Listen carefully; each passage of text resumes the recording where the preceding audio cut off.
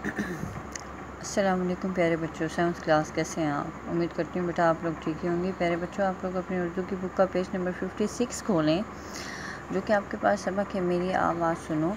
आप इस सबक को मुकम्मल पढ़ चुके हैं और आपने इसकी मश्क भी स्टार्ट कर ली है और हमने लास्ट लेक्चर में इस मश्क के जो है आ, सवाल नंबर छः तक हमने जो है मश्क को मुकम्मल कर लिया था। आज हमने मश्क का सवाल नंबर सात करना है।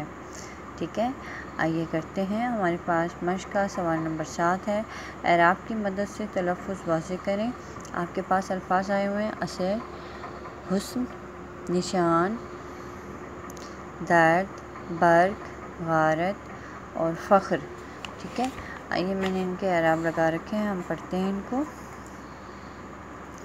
असर, अलिफ पे ज़बर सा पे ज़बर और रे पे जज्म असर, हुस्न है लफ्ज़ हा पे पेश और सिन पे जज्म और नून पे जज्म लगाने की ज़रूरत नहीं है। निशान, नून के नीचे जेर, शीन, ज़बर, अलिफ शाह शीन पे ज़बर और नून पे जज्म लगाएँ या ना लगाएँ। दोनों तरह से सही होगा। दर्द, दाल पे ज़बर रे पे जज्म और दाल, ठीक है? दर्द बर्क है अगला लफ्ज़, बा पे ज़बर रे पे जज्म और काफ अपना तलफ़ खुद वासे कर रहा है, ये बर्क होगा।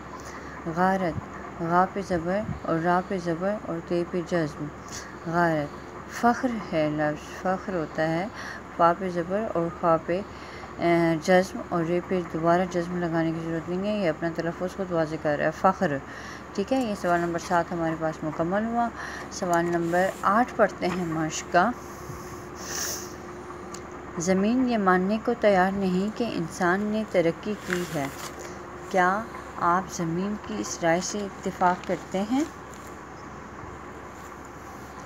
जी। ज़मीन ने सबक में अपनी आप बीती बताई, अपनी आप बीती अपनी ज़बानी सुनाई और आप इसका क्या जवाब देंगे बेटा? आप कहेंगे, जी हाँ ज़मीन सही कहती है। इंसान ने वैसे तो बहुत तरक्की की है, मगर इसने ज़मीन के हुस्न को ख़राब कर दिया है। इस तरह इसकी तरक्की मनफी पहलू लिए हुए सामने आती है।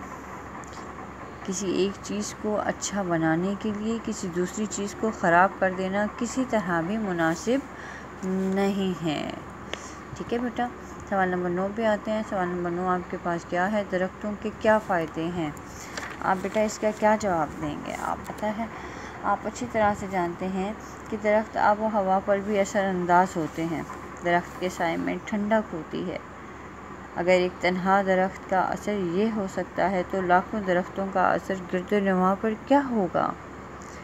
सर्दियों में भी ये दरख्त गिरद को सर्द हवाओं से बचाते हैं। दरख्तों से बहुत सी जड़ी बूटियाँ हासिल होती हैं और इन जड़ी बूटियों से अद्वियात तैयार की जाती हैं।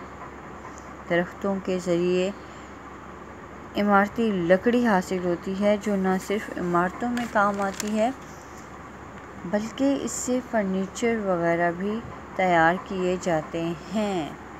ठीक है? ये आपके पास सवाल नंबर नौ का जवाब हुआ। सवाल नंबर दस ज़रा और ज़र्रा का फ़र्क। जुमलों में इस्तेमाल से वाज करें। आप देखें ज़रा का मतलब होता है थोड़ा सा या, या मकदार में कम। ये देखें मैंने यहाँ पे बना रखा है। ज़रा कम मकदार में या थोड़ा सा अगर हम इसका जुमला बनाएँ ज़रा ज़रा सी बात पर परेशान नहीं होना चाहिए। जुमला वाज हो गया कि ये कम मकदार को वाज कर रहा है। और ज़र्रा, इसका मतलब होता है टुकड़ा या रेज़ा। हमें अपने वतन का ज़र्रा ज़र्रा जान से प्यारा है। फ़र्क वाज हो गया। ठीक है, समझ आ गई बात? सवाल नंबर दस हो गया। सवाल नंबर ग्यारह पे आते हैं। उस्ताद और शागिर्द के माबैन माहौलियाती आलूदगी के मौजू पर एक मुकालमा लिखें आपको मैंने पहले भी बताया था मुकालमा क्या होता है। दो या दो से ज़्यादा लोग जब आपस में बातचीत कर रहे हों तो उसको मुकालमा का नाम दिया जाता है। और आपको, आपने, आपको मैंने ये सवाल जो है होमवर्क पे भी दे रखा है बेटा। माहौलियाती आलूदगी। पर यह आपका एक टॉपिक है, आपको मौजूद दे दिया गया। और उस पर जो है उस्ताद और शागिर्द किस तरह आपस में बातचीत कर रहे हैं मुकालमा आप लिखेंगे। सवाल नंबर बारह, दी गई मिसाल की रोशनी में तलाज़मात लिखिए। मुतलाज़िम अल्फाज, आप लोगों को पहले भी बताए हैं कि जिस तरह लफ्ज़ सकूल है तो इससे मुतल अल्फाज जो सारे, जो इससे ताल्लुक़ रखते हैं, जो चीज़ें ठीक है बेटा? तो जो चीज़ें इस से ताल्लुक़ रखती हैं वो सारी जो है मुतलाज़िम अल्फाज कहलाती हैं। अब जिस तरह से यहाँ एक मिसाल आपको बता दी गई स्कूल अब स्कूल में आ, जो है इसके मुतलाज़िम अल्फाज कौन से होंगे?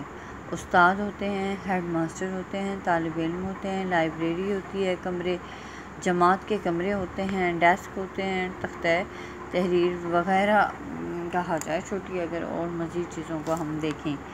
ठीक है? तो ये इस तरह से जो है आपने बाग और अस्पताल इसको हस्पताल भी कहते हैं अस्पताल भी कहते हैं दोनों तरह से ये लफ्ज़ सही होगा। तो आपने इन दोनों के मुतलाजिम अल्फाज भी लिखने होंगे। ठीक है बेटा? ये आपके पास जो है आज आ, सबक मेरी आवाज़ सुनो कि मश्क मुकम्मल हुई। सवाल नंबर बारह आज हमने कर लिया। आइए मैं आपको इसका वर्क साइन करती हूँ। आपके पास क्या काम होगा?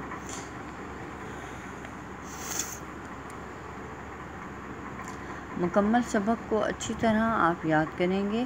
बेमाय मश्क मुकम्मल मश्क के साथ। और मश्क का सवाल नंबर ग्यारह होमवर्क है।